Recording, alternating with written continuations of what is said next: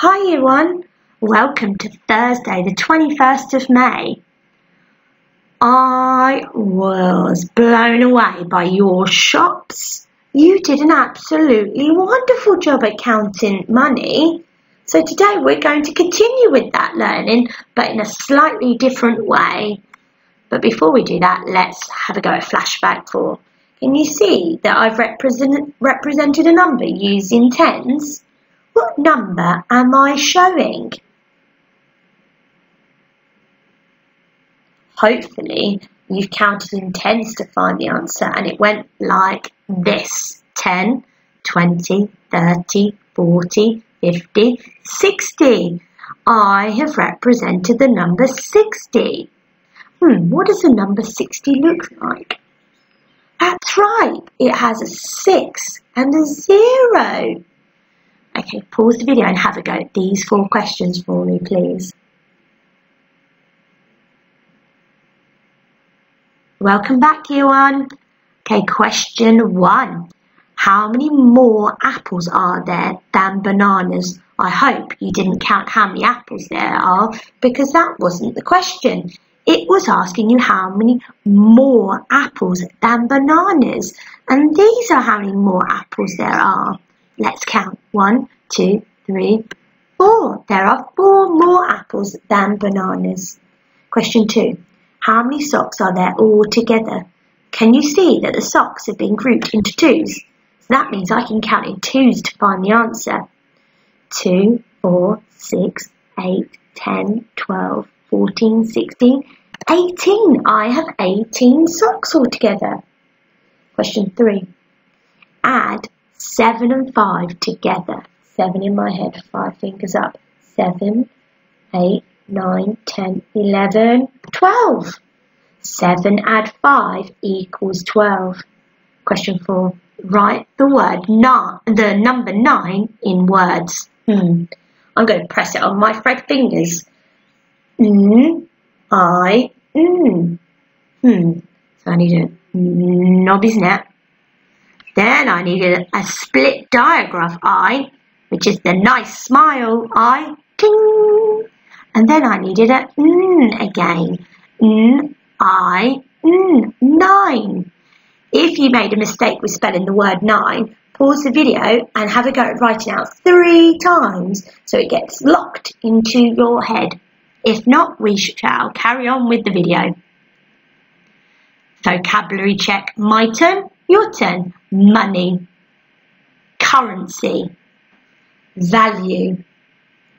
Equivalent. Coins.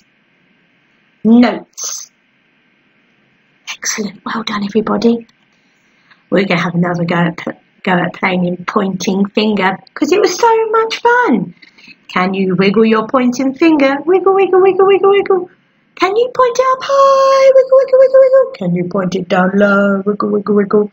We are going to use our eyes to look for the correct coin, coin and then our pointing finger to point at the correct coin. Here goes. Get your pointing finger ready. Off to the seaside. Do you have the correct coin to buy an ice cream? Hmm, what flavour ice cream would you buy? I think I would buy a mint flavour ice cream. Which coin do you need? The ice cream costs 20 pence. Oh, that's a very cheap ice cream. Look with your eyes, find it with your finger. Hopefully you're pointing at this coin. This is the 20 pence coin because it has written on there 20 pence. Excellent, well done. Can you buy some bread from the shop? Which coin do you need? The bread costs one pound. Find it with your eyes. Point it with your finger. I hope you are pointing at this coin. This is the one pound coin because it has written on there one pound. Excellent. Well done, everybody. Last turn. You have found a coin in your bag. Lucky you for finding a coin in your bag. What coin did we find? You found a two pence coin in your bag. Show me the coin that you have found. Mm, hopefully you are pointing at this coin. This is a two pence coin because it has two pence written on it. Well done everybody. Okay, let's start with our learning. So I need some help today. Do you think you could help me? See, I have lots of piggy banks with all different amounts of money in, inside it. And I need some help with finding out how much money I have in my piggy bank. Can you help me? Hopefully you all said yes. Let's carry on. How much money is in my piggy bank? Hmm, what coin have I got in my piggy bank? I've got one pence coins. That means I can count in ones to find out how many I've got altogether in my piggy bank. Ready? And I'm going to make sure I say pence. One p, two p, there's two p's, three p, four p, five p. I have five pence in my piggy bank. And five one pence coin is equivalent to one five pence coin. So I could change it to a five pence coin. Well done everybody, let's have a go at this one. Oh, I don't know why it's moving. Why are you going over there? Okay, here we go. How much money is in my piggy bank? Hmm, what coin have we got in my piggy bank now? I've got ten pence coins. That means I can count in, hmm, can I count in fives? No, because that's not, that's not how much that coin is worth.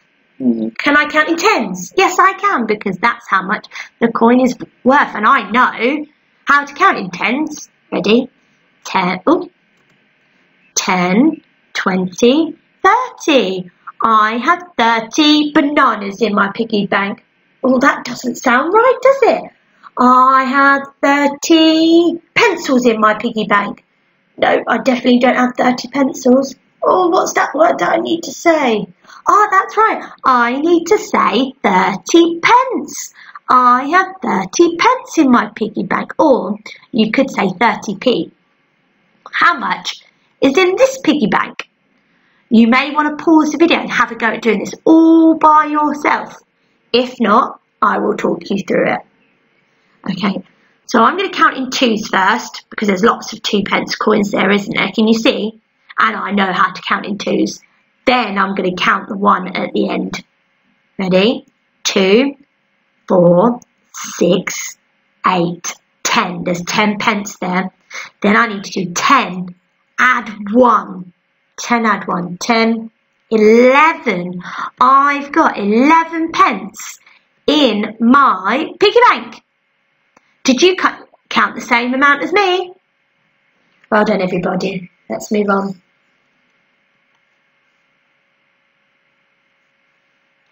How much money is in my piggy bank? Hmm, I've got a mixture of coins in this piggy bank. I've got 10p's and I've got 5p's. I've got mainly 10p's, so I'm going to count the 10p's first. You may want to pause the video and have a go at doing this all by yourself. If not, I will talk you through it. So I'm going to count in tens because I can count in tens. 10, 20, 30, 40. I've got 40 pence here and then I need to count, um, add 5 to 40. Or I think I'm going to have to draw some, some squares to help me because I'm not entirely sure. So I need to count on from 40 and stop when I get to 5. Because I know that 5 is the same as 5 ones. And that will help me with counting on. So I've got 40, 41, 42, 43, 44, 45. I have 45 pence in my piggy bank. Well done everybody, that was super learning. It's activity time now. I would like you to complete the piggy bank sheet that I've attached to this post. There are two versions of this sheet. There is an easier version, which I've labelled green, and there's a tricky version for anybody that found today's learning super, super easy and would like a challenge. And I've labelled that red. And then there is a challenge question which I've attached to this post. I hope you have fun and remember to draw out any squares or circles to help you with counting if you get stuck. Bye!